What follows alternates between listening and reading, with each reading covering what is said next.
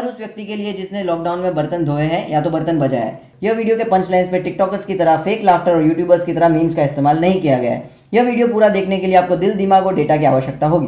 Comment में तारीफ़ करने वालों से रिक्वेस्ट है कि औसम का स्पेलिंग ओ से स्टार्ट नहीं होता है और गाली देने वालों के लिए, अरे यार लोग के लिए क्या डिस्क्लेमर यार। तो क्या हाल है दोस्तों? अरे हटाओ ये सब। शक्ल और कंटेंट दोनों दिखाने लायक है। खेल में है एक जैसे भेड़ चले भेड़ चाल जो मैं लिखूं घंटे भर में इनको लगते डेढ़ साल। नाउ आप प्लीज़ इन दोनों से क्वेश्चन पूछ सकते हैं। जी प्लीज़ मुनवर आप कुछ ही क्षणों पहले कंगना ये कह रहे थे कि इनके 128 कुछ व्यूज़ आ गए हैं मिलियन व्यूज़ होंगे लाखों व्यूज़ होंगे राइट मुझे लगता है कि शायद आपको जो व्यूज़ आए हैं इसलिए नहीं आए क्योंकि आप कमेडियन हो और लोगों को हंसाते हो शायद इसलिए आए हैं क्योंकि आप सेंसेशनलिज्म यानी गालियों का उपयोग करते हैं। आप कभी वो मूवी देखने नहीं जाते जो ए सर्टिफिकेट होती है जिसमें गाली होती है रिव्यू के लिए? जी। जाते हो या नहीं जाते? जी जी जाता हूँ। तो आप क्यों जा रहे हो?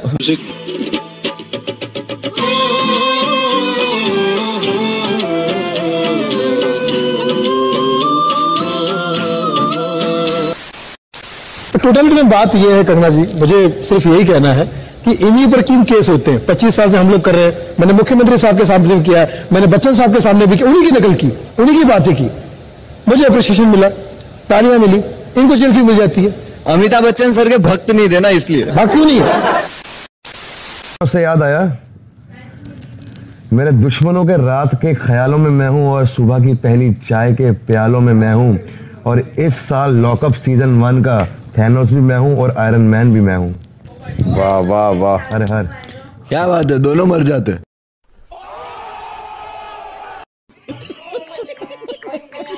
Four three two one extra extra extra good वैसे भी टिकटॉकर लोग दस सेकेंड ही रहते।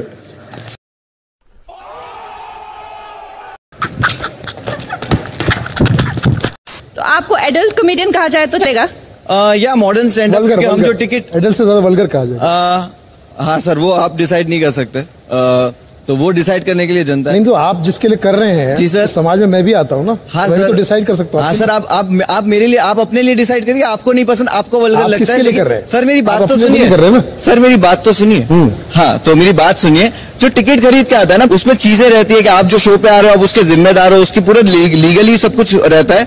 और फ्रंट रो में जो आके हमारे शोज़ में बैठता है ना they want us to talk to them they bring their friends के we can roast them that's the format of the show that's the format of the comedy crowd work improv comedy और उस crowd work नाम का एक format है, जो काफ़ी चलता है। वेस्टर्न कंट्रीज़ में इंडिया में भी काफ़ी चलता है। मेरे क्राउड वर्क पे भी 10 मिलियन व्यूज़ है, और उसमें कोई गाली भी नहीं है। और उसमें सिर्फ़ इम्प्रोव कॉमेडी है, जगह पे बनाई गई। एक ही जोक पुराना एक सेट लेके वही घीसा पीटा हम नहीं करते। तो ये फॉर्मेट है सर सबका अपना तो अपना आपका स्टाइल मतलब है कि सुनील जी घिसा पिटा कॉमेडी करते हैं? मुझे ये शो ऑफ़र हुआ।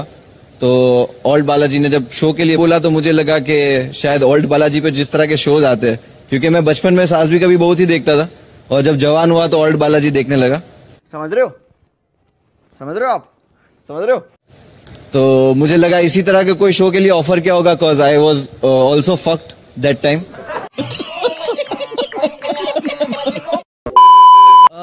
मैंने सड़कों पे सीखा है तो कोई गुरु नहीं था। Uh, बहुत बहुत शुक्रिया वो, बट वो लेकिन दिखता है? हाँ हाँ हाँ। पूरा दिखता है? दिखता है वो तो दिखना भी चाहिए क्योंकि पूरा 80 परसेंट हिंदुस्तान सड़कों पे है नहीं 80% वो तो दिखना नहीं है। 80 परसेंट है। नहीं अभी तो स्वच्छ भारत है।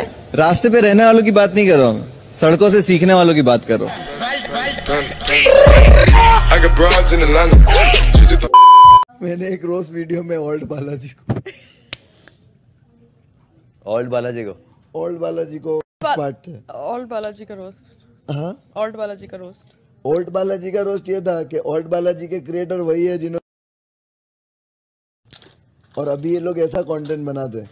मतलब इन्होंने झूला झूलाने से लेके हिलाने वाले सबका ध्यान रखा है।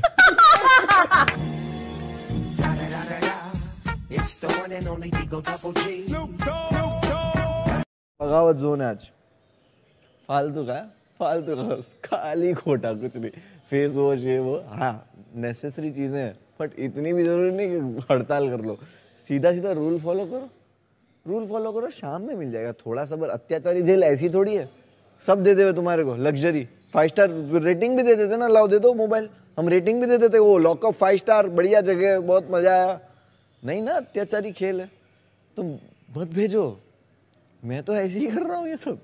मेरे को कुछ नहीं है। मेरे को कुछ नहीं मिल रहा। मैं तो खाली मज़े ले रहा हूँ। सबको मैनिपुलेट कर दो सबको करवाओ। तो सब करेंगे सब हड़ताल पे। सब सो जाओ। देख लो सजा देना। मेरे को मत देना। अभी हल्की बैंड बजी थैनोस के सामने। थैनोस से याद आया? इस साल लॉकअप सीज़न वन का थैनोस भी मैं हूँ और आयरन मैन भी मैं हूँ। क्या बात है? दोनों मर जाते।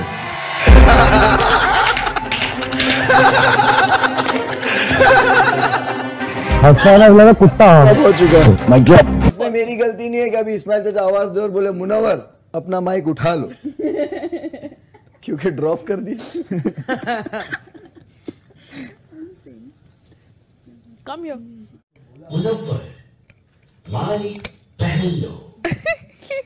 खड़े रह के भी खड़े रह भी अरे नहीं फुसफुसा रहा आवाज़ बैठ गई है पानी भेजा नहीं तुम लोग ने फुसफुस दिखाएँगे अगर अपना स्टैंड अप करके। मैं साइशा से शुरू करूँगा। एक बार उसको रोते हुए देखा, मैंने पूछा, उसने बोला, मैंने निशा का एंथम सुन लिया।